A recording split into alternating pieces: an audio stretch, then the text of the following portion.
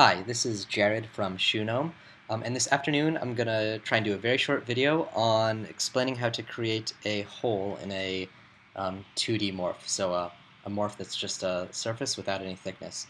Um, this is an answer to a question that was made um, in the comments of a blog post I did over at BIM Engine, which is the Graphisoft North America blog, which I also write for. Um, it's pretty simple to do, but it's a little hard to explain um, in writing, so I just thought let's do it with a video. So I'm going to go ahead and make a 2D morph. So if we select this um, and go to 3D, we can see it's just a thickness, or it has no thickness.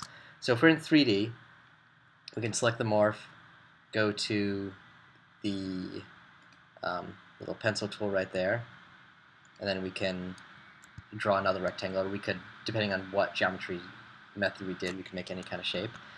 So we've now delineated a, a border, but there's no hole. So if I'm, I'm going to hold down Shift Control, I, this will allow me to select a sub-element. I'm going to select that area, hit the delete key, and I've made a hole.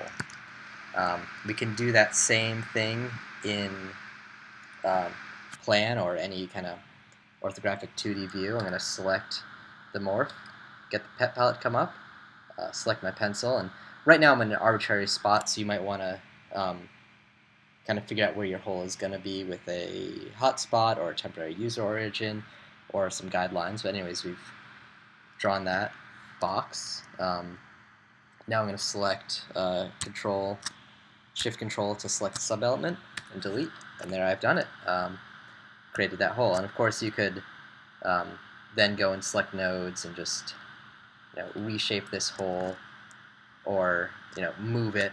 Um, if I just select that, you can move wherever you want. But that's the basics. I don't take up any more time, but that's how you cut a hole in a 2D morph. Thanks.